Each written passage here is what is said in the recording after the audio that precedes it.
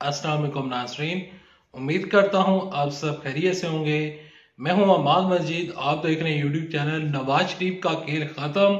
नू लीग बड़ी मुश्किल में फंस गई। नवाज़ शरीफ के साथ वो हो गया जो नवाज़ शरीफ साहब ने, बल्कि किसी ने भी ना सोचा था। इस खबर की तफलात शेयर करने से पहले, आगे बढ़ने से पहले, आप सबसे एक सवाल पूछना चाहूँगा कि आप 8 फरवरी 2024 का जो इलेक्शन का दिन है, उसमें आप किस पार्टी को वोट डालेंगे और उस दिन आप किस पार्टी के हक में फैसला सुनाना पसंद करेंगे कमेंट सेक्शन में मुझे बताइएगा। बढ़ते हैं खबरों की जा रहे देखें नवाज़ शरीफ साहब, जब से पाकिस्तान लौटे हैं, तब से लेकर आज तक नवाज़ शरीफ साहब ने जो जलसे किए, उसके ऊपर अपना एक तबसरा करूँगा, लेकिन उसके ऊपर तबसरा करने से पहले यहाँ पर कल जो जलसा हुआ शहबाज शरीफ साहब का, रावलपिंडी में उस जलसे की बात करते हैं।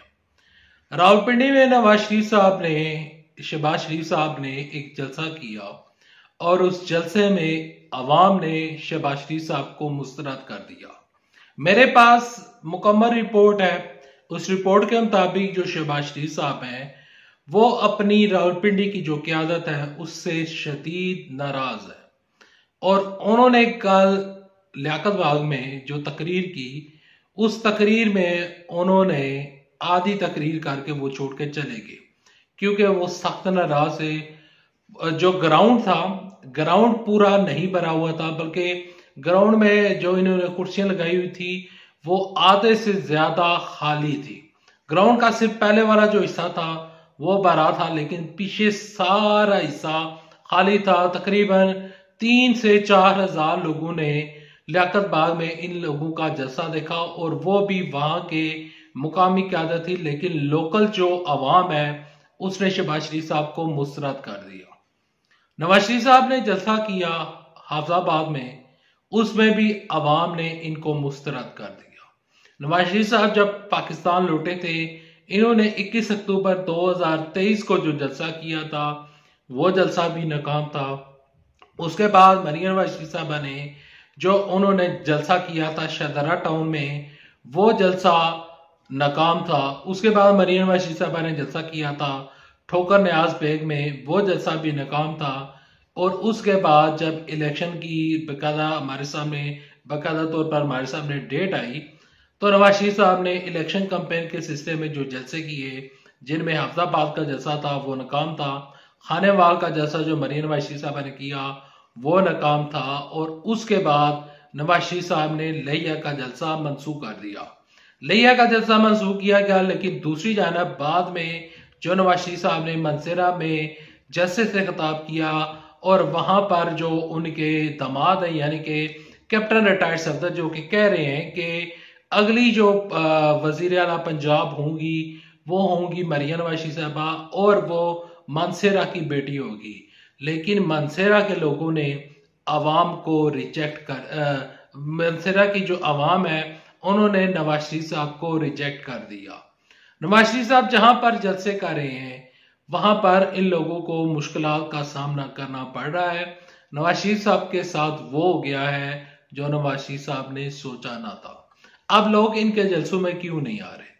जलसों में आने की सबसे बड़ी वजह यह होती है कि अवाम ये सोच कर आती है कि हमें जलसे में, हमें क्या मिलेगा?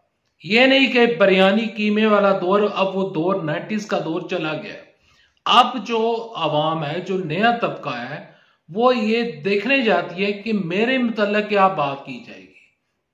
मरियन वशी साहबा उठती हैं, वो फरा गोगी से लेकर, बुशरा बीबी से लेकर, इमरान खान साहब को अपनी तकरीर का हिस्सा बनाती हैं। और उनकी तकरीर में 95 टू 96 परसेंट इन लोगों का ज़िक्र होता है। अब इन लोगों के ऊपर केसेस चल रहे हैं। अदालतें फैसला सुना चुकी हैं या सुनाने वाली हैं। वो अदालतों का काम है अवाम नवाज़ शरीफ के जलसे में बैठकर इमरान खान साहब की वो कहानियाँ जो आप लोग प्रेस कॉन्फ्रेंस में आकर बताते हैं, जो चीज़ें आप बताते हैं तो फिर वही चीज़ अगर आप जलसे में रिपीट करेंगे तो अवाम आपके जलसे में क्यों आएगी? ये एक बहुत बड़ा सवाल है। देखें अवाम अवाम इस टाइम क्या चाह रही है? अवाम ये चाह रही है कि उनको सस्ती रोटी मिले। अब नवाज़ शरीफ साहब ये बताते हैं कि मेरे दौर में रोटी दो रुपए, पाँच रुपए, दस रुपए की थी और बाद में ये चीज़ें बढ़ी। लेकिन नवाज़ शरीफ साहब ये भूल रहे हैं कि अब जो डेट्स है जो तारीख है और जो आ, सन है वो तब्दील हो चुके हैं। महँगाई सिर्फ़ पाकिस्तान का मसला नहीं है। महँगाई पूरी दुनिया की महँगाई जो है उसने पूरी दुनिया को अपने लपेट में लेकर रखा हुआ है। अब महँगाई पूरी दुनिया में बढ़ रही है सिर्फ़ पाकिस्तान में नहीं बढ़ी। लेकिन इस चीज़ को कंट्रोल किया जा सकता है। तब कंट्रोल किया जा सकता है जब हम अपना डॉलर बनाएँगे। नवाज़ शरीफ साहब दावा कर रहे हैं कि 30 परसेंट बिजली सस्ती दी जाएगी और 30 परसेंट आवाम इस बिजली के इस नारे को देकर, इस मंशूर को देकर कि 30 परसेंट बिजली हमें सस्ती मिलेगी। इसके ऊपर आवाम हमें वोट डाल देगी। देखिए, आवाम आजकल एक एक चीज़ यहाँ पर रिसर्च कर रही है।